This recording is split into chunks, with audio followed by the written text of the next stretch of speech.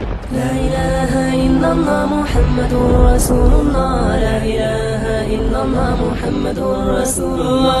لا إله إلا الله محمد سبسکرائب کریں میرے چینل سید سعد قادری کو اور بیل آئیکن دبائیں میری ویڈیو سب سے پہلے دیکھنے کے لیے.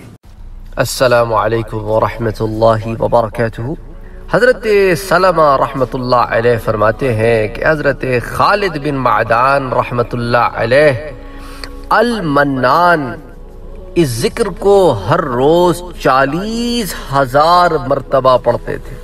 آپ کو یاد ہوگا کہ آپ سے میں نے ایک درس میں یا حنان، یا منان کا ذکر کرنے والے جہنمی کا ذکر کیا تھا کہ جسے اس ذکر کی وجہ سے جہنم سے نکال کر جنت میں داخل کیا جائے گا، وہ ایمان والا ہوگا، پر گناہ بہت زیادہ ہوں گے اس کے۔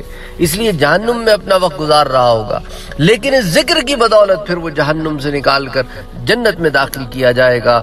تو اب یہ جو ذکر ہے نا، المنان کا، یا منان، یہ ہر روز چالیس ہزار مرتبہ حضرت خالد بن معدان پڑھتے تھے، اور اس کے علاوہ پھر قرآن مجید کی تلاوت بھی کرتے تھے۔ دیکھیں نا میرا بھائی، یہ جو بزرگان دین ہے بہت سارے لوگ مجھ سے پوچھتے ہیں، وظائف، ذکر وغیرہ۔ دیکھیں، سب سے بڑا جو لازمی ذکر ہے نا آپ کے لیے، وہ ہے نماز کی پابندی۔ بہت سارے لوگ جو ہے وہ ذکر اذکار کے بارے میں تو پوچھتے ہیں، پر نماز کی پابندی نہیں کرتے۔ نماز کی پابندی بہت ضروری ہے۔ پانچ وقت کی نمازیں اللہ نے فرض کی ہیں۔ اور ان کے ساتھ پھر یہ ذکر اذکار جو ہے تقویت ایمان کا سبب بنتے ہیں اور درجات کی بلندی کا سبب بنتے ہیں۔ نمازوں کا یہ بدل نہیں، نماز چھوڑ کے یہ ذکر کرنا یہ بہت عجیب سی بات ہے۔ بہرحال تو حضرت خالد بن معدان ہر روز چالیس ہزار مرتبہ تسبیح پڑھتے، اس کے علاوہ تلاوت قرآن مجید بھی کرتے۔ تو وصال کے بعد جب انہیں غسل کے لیے تخت پر رکھا گیا، تو انہوں نے اپنی انگلی کو اس طرح ہلانا شروع کر دیا، گویا تسبیح پڑھ رہے ہوں۔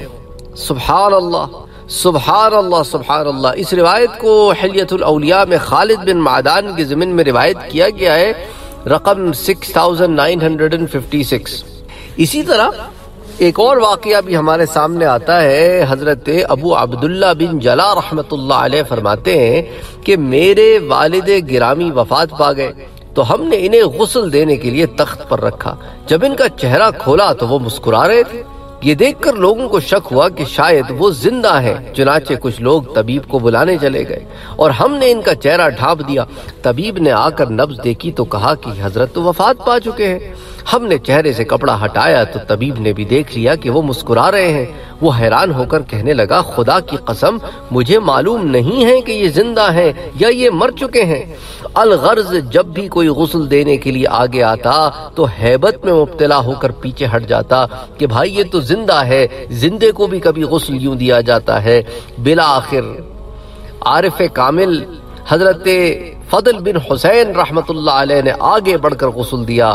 پھر نماز جنازہ پڑھائی اور دفن کر دیا گیا کہ حضرت جانتے تھے کہ ان کی کیا کیفیت ہے۔ یہ اللہ والے لوگ ہوتے ہیں بھائی۔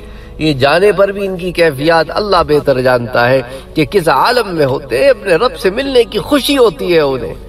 اس کے ذکر سے ان کے دل معطر رہتے ہیں، ان کی زبانیں معطر رہتی ہیں۔ اور پھر ان کو جب ملائکہ لینے آتے ہیں تو سبحان اللہ سبحان اللہ سبحان اللہ۔ اس پر تو میں بڑا ذکر کر چکا ہوں آپ کو کہ مومنین کو کیسے ریسیو کرتے ہیں ملائکہ۔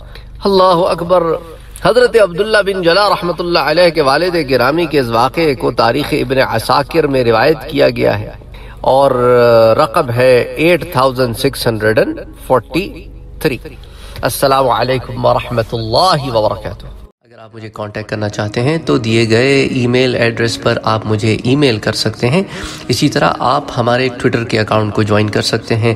انسٹاگرام پر آپ ہمیں فالو کر سکتے ہیں۔ اور فیس بک پر بھی آپ ہمارے ایک سے زائد پیجز ہیں۔ ایک انگلش میں، ایک اردو میں انہیں فالو کر سکتے ہیں۔ تو اگر آپ کو کوئی سوال ہے تو آپ یوٹیوب پر بھی پوچھ سکتے ہیں۔ اور ان اور مختلف پلیٹ فارم اگر آپ نے ابھی تک ہمارے چینل کو سبسکرائب نہیں کیا ہے تو سبسکرائب کا بٹن دبائیں، بیل کے آئیکن کو پریس کریں تاکہ آپ کو ریگولر نوٹیفیکیشن اپڈیٹ مل سکے اور آپ ہمیں ہمارے لائیو سیشنز میں بھی جوائن کر سکیں۔ ویڈیو پسند آنے کی صورت میں لائک شیئر اور کمنٹ کرنا نہ بھولیں۔